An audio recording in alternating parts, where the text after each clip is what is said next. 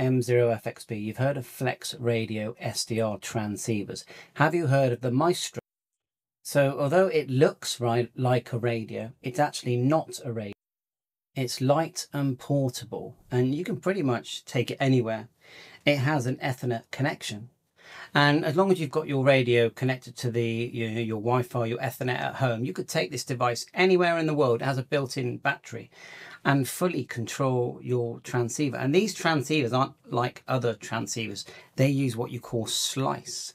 And you think, well, what's a slice? So imagine one line of frequency. You can click on that and listen to that. Then you can choose another slice, click on that, and you're listening to that frequency and so on. So, you know, the technology is, is, is massively ahead of its time. And, you know, these devices are, I'll, I'll show you one of the back panels and you can see all the different connectivity there, antenna one, antenna two, the ethernet, the USB. Oh, I just, I could be listing it for, for ages. And uh, let's have a quick look at the, at the 500 watt version. You know, look at this one here. It says one giant leap for HamKind all new family of HF6 meter transceivers. I'm pretty sure they're called Aurora, uh, featuring the world's first truly integrated 500 watt. It's like, whoa. And then see the front here, if we look at zoom into the front.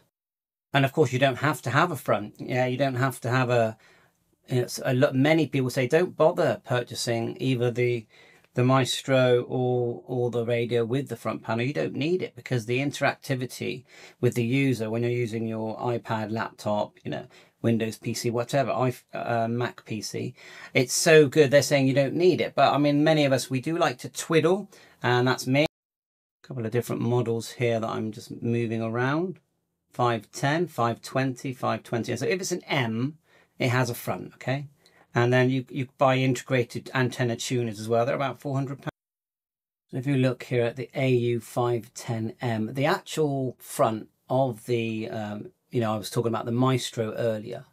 It looks identical, doesn't it? Even the way the speaker sits underneath, uh, the knobs where they've got the, the two AF gains there, and your bandwidth right in front of you how you control, you've got F1, F2, F3, and RX, TX, A, B, RX. It looks identical. Now you've got the Maestro A, B, and C, and the C model has, you know, the best enhancements, the best, um, I would say, battery and, and that, but it doesn't look that different than the than the A. So of course I'll be testing all this kind of stuff soon. I'm I'm brand new to the Flex system, uh, and I, you know, it doesn't stop me from thinking that the Yaesu FT101D and the 710 and the 7300, the new 700 Mark II, and they're all fantastic products, you know. Um, but this this is literally taking you to, uh, up to a different level, and of course you've got to take into account the price as well. But the development of this radio is you turn it on, you go to Australia, I'm in the UK, you turn on your device you are you're you're connected to it. And it, it looks to me like if you've got say you've got two or three radios you can use the same system to connect to either radio that uh, there's different firmwares uh, and that. So so yeah just give it a go. Bye for